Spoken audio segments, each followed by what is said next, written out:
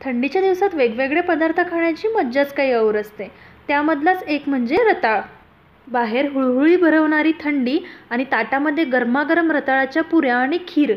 वा तोंडाला पाणीच सुटले चवीला अगदी छान लागणाऱ्या आणि कमी वेळेत तयार होणाऱ्या अशा ह्या रताळाच्या पुऱ्या किंवा त्याला तुम्ही गोड पुऱ्यासुद्धा म्हणू शकता त्या आपण आज बनवणार आहोत. चला तर मग सुरुवात करूया. आणि हो तुम्ही जर माझ्या चॅनलवर नवीन असाल आणि तुम्हाला हे माझे व्हिडिओज बघायला आवडत असतील तर माझ्या चॅनलला नक्की सबस्क्राईब करा. ते अगदी मोफत आहे. सोबतच बेल आयकॉनवर प्रेस करा जेणेकरून माझ्या नवीन रेसिपीज सर्वात आधी तुम्हाला मिळतील. इथं मी मध्यम आकाराच्या चार रताळं घेतलेली आहेत. ती स्वच्छ धुवून घेतलेली आहेत. आपल्याला सर्वात आधी हे उकळून घ्यायचे आहेत पाण्यामध्ये. पण उकळायला टाकण्याआधी त्याचे जे देठं आहेत ते आपल्याला कट करून घ्यायचे आहेत. दोन्ही साईडला त्याचा जो देठाचा भाग आहे तो व्यवस्थित कापून घ्यायचा आहे. तर इथं मी अशा प्रकारे सगळ्याच रताळ्यांचे जे दोन्ही साईडचे देठं आहेत ती कट करून घेतलेली आहेत. आणि आता याला मी पातेल्यामध्ये उकळायला टाकणार आहेत. पातेल्याऐवजी इथे तुम्ही कुकरमध्ये सुद्धा हे घालू शकता. पण खूप जास्त आपल्याला हे उकळायचे नाही आहे अगदी मौलच करायचे नाही आहे त्यामुळे इथं मी हे पातेल्यामध्ये टाकते उकळायला. जेणेकरून मला हे सारखं चेक करता येतील झालेत किंवा नाही ते. आणि कुकरमध्ये जर तुम्ही लावत असाल तर फक्त एक शिटी याची काढून घ्यायची. त्यापेक्षा जास्त हे उकडून घ्यायचे नाही आहेत तर इथं हे आता झालेले आहेत जरा नरम झालेले आहेत. इथं मी चमचा घालून बघते. व्यवस्थित झाले आहेत अगदी कच्चे नाही आहे आणि खूप मऊसुद्धा झालेले नाही आहेत या स्टेजला इथं मी गॅस बंद करून घेते आणि हे पाण्यातनं काढून घेते. इथं हे आपल्याला पूर्णपणे थंड होऊ द्यायचे आहेत आणि थंड झाल्यावरती याचे सालं काढून घ्यायचे. तर इथं मी आता हे रताळाचे सगळी सालं काढून घेतलेले आहेत. आता आपल्याला याचा किस पाडून घ्यायचा आहे. तर इथं मी सगळे रताळे असे छान किसून घेते. तर इथं मी सगळे रताळू हे किसून घेतलेले आहेत. त्याचा अगदी मोकळा आणि सुटसुटीत असा हा किस तयार झालेला आहे. इथे हा किस जवळपास एक वाटी आहे. त्यामध्ये आता अर्ध्या प्रमाणामध्ये मी किसलेला गूळ घालते. म्हणजे एक वाटी रताळाच्या किसामध्ये मी अर्ध्या वाटी किसलेला गूळ घालते.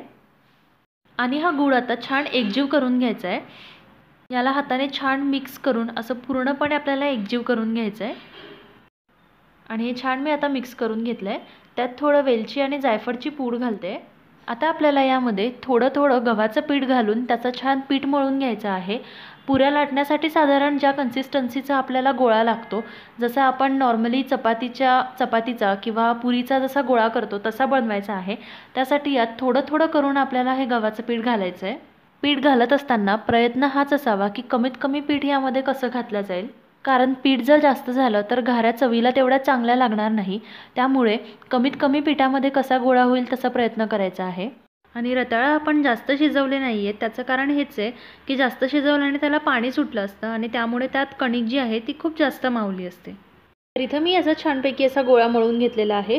अगदी सैलसर किंवा खूप घट्ट असा नाही. मीडियम कन्सिस्टन्सीचा इथं मी गोळा मळून घेतला आहे मी इथं एक वाटी पीठ घेतलं होतं. त्यातलं फक्त अर्धी वाटी पीठ मला लागलं आहे आता या गोळ्यावर थोडं तेल लावून याला दहा मिनिटासाठी आपण रेस्ट करायला ठेवूयात. कुठल्याही पिठाचा गोळा भिजवल्यावरती त्याला असं दहा मिनिट झाकून ठेवायचं.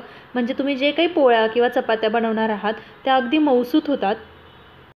आता यातला एक छोटा गोळा करून घेतला आहे. पुरीसाठी साधारण आपण जेवढा घेतो तेवढा गोळा इथं घेतला आहे आणि थोडं तेल लावून याला एकसारखं असं लाटून घेते. तसं तर पुऱ्या लाटणं अगदी अवघड काम नाही आहे पण काही गोष्टींची जर काळजी घेतली तर सगळ्याच पुऱ्या छान एकसारख्या अशा फुलतील. त्यामुळे पुरी लाटत असताना ही एकाच साईडने लाटायची पलटायची नाही आणि तळत असतानासुद्धा ज्या साईडला आपण लाटलेली आहे त्याच साईडला उचलून ती कढईमध्ये टाकायची. म्हणजे एका साईडला लाटली आहे आणि दुसऱ्या साईडला उलटी करून ती तळताना टाकायची असं करायचं नाही. नाहीतर ती पुरी एकसारखी अशी फुगत नाही. एकीकडे तेलसुद्धा गरम करायला ठेवलं आहे आणि छान गरम झालं आहे आता आपण यामध्ये पुऱ्या तळून घेऊयात. पुऱ्या तळत असताना तेल हे गरम असायला हवं. जर ते थंड असलं तर पुळ्यात तेल पितील. त्यामुळे तेल अगदी गरम असतानाच पुरी तळायची जेणेकरून ती छान फुलते आणि मस्त फुगते एकसारखी. दोन्ही साईडला मस्त तांबडा रंग येईपर्यंत तळून घ्यायचे आहेत. अशाच प्रकारे मी इथं बाकीच्या पण पुऱ्या तळून घेते.